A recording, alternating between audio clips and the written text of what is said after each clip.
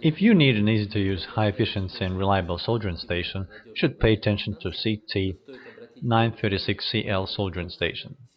The soldering station is a helpful set of equipment including 48 watt soldering tool, electronic adjustment unit, soldering tool support, and bit cleaning sponge.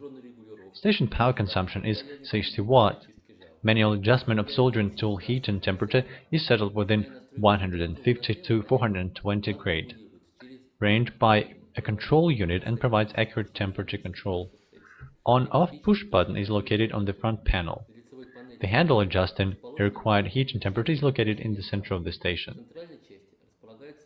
Informative scale of a current heat and temperature with light indicators is located at the top of the device. Temperature measurement units are Celsius and Fahrenheit. Soldering tool support is designed for left and right-handed operators. All you need is to install it on the desired side.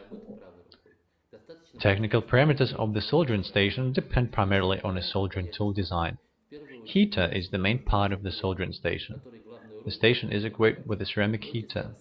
Soldering tool design provides easy bit replacement. A sponge, removing residual solders from the bit, is located at the top of the soldering station to provide its convenient use. Therefore, the station will be helpful both in home workshop and in production premises.